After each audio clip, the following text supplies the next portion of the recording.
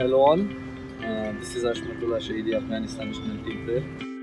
Uh, so I'm using this uh, bat sensor. Uh, it shows uh, bat speed, uh, bat impact, impact, and backlift.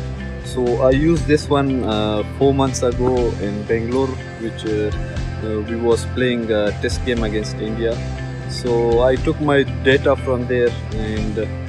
Uh, uh, after that uh, I, I I know that where I have problem and from where my bat angle is coming.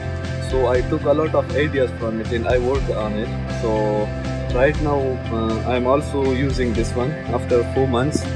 So I can see too much improvement in my batting and every day after practice session uh, I'm having this one and I check my data. So my bat speed and uh, angle everything im- improved uh, from before. So it's a good thing for every player to use it and uh, it will work for it very good